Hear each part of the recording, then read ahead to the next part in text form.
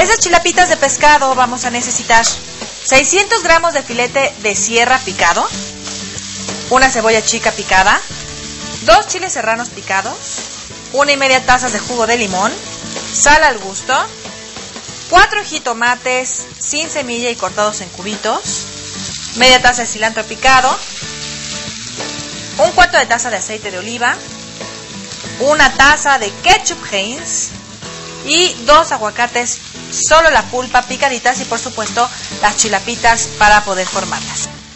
Ya tienen ahí los ingredientes para estas chilapitas y vamos a empezar a prepararlo. Eh, si ustedes tienen tiempo de prepararlo desde un día antes, muchísimo mejor.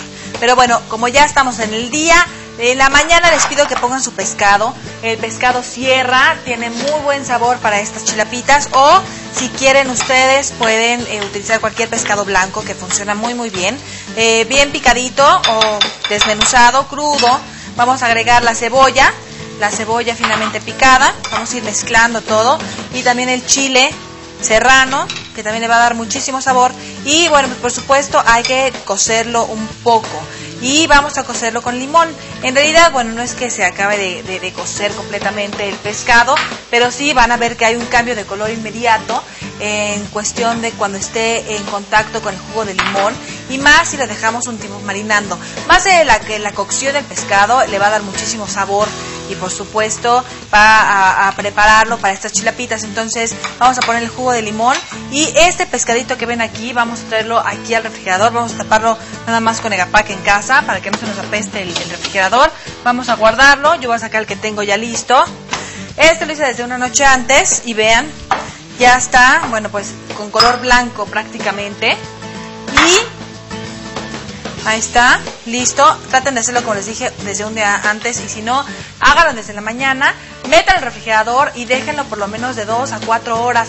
Hagan todas sus cosas y ya antes de que se vayan a ir a la fiesta o antes de empezar la fiesta de hoy en la noche, lo sacan y lo terminan de preparar. La verdad es que es muy sencillo. La, la preparación última es eh, agregar el jitomate, el jitomate picado que le va a dar mucho color por supuesto. Tenemos el verde, el blanco y el rojo en esta receta presentes y además es una receta que no puede faltar, como muy, muy rica y con el toque mexicano. Vamos a poner cilantro, ahí está, también vamos a ir mezclando perfectamente bien. Ya esto va al último, por supuesto, el aceite de oliva que también lo va a humectar y le va a dar muchísimo sabor a nuestras chilapitas, a nuestro ceviche de, de pescado por principio que estamos preparando. Pueden hacer tostadas o pueden ser chilapitas. Pues ahorita, eh, para hoy en la noche, a mí se me hace más fácil chilapitas para que cada quien vaya tomando su chilapita. Y eh, también otro consejo importante que vamos a, hacer con este, con este cevichito eh, para rellenar chilapitas es que va a ser a último momento, porque si lo hacemos de la mañana lo único que va a pasar es que se va a poner a suavizar la chilapita y todo se va a quedar como aguada. Algo importantísimo para esta receta y para darle sabor, por supuesto, es ketchup Heinz.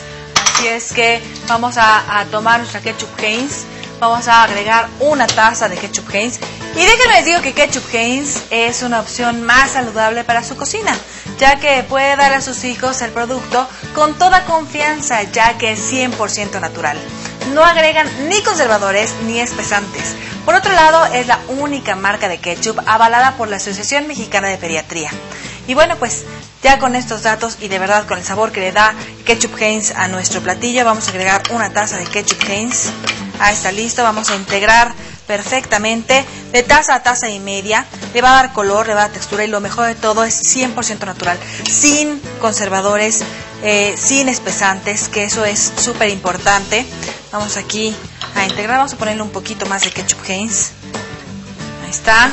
Me encanta a mí el sabor que le da al ceviche, yo creo que es una de las combinaciones favoritas, la ketchup con, con el pescado y que queda excelente con, con la combinación de limón, del jitomate. Vamos a agregar ahora sí ya el toque final, nuestro aguacate, que también va a estar incorporado perfectamente bien en la receta.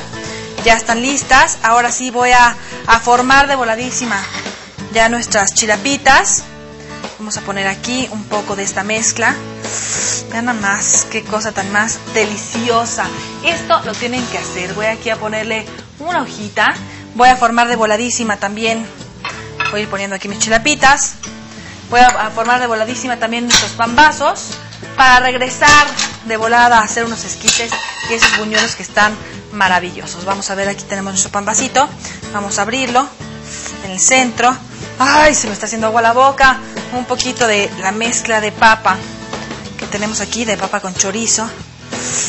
Vean nada más esto, qué delicia. Ahí están listos. Vamos a ponerle, por supuesto, un poco de quesito, un poco de lechuguita. Tenemos la salsita verde y yo voy haciendo mis plantones también de pambazos y de chalupitas mientras vamos a un corte comercial. Así es que acompáñenos.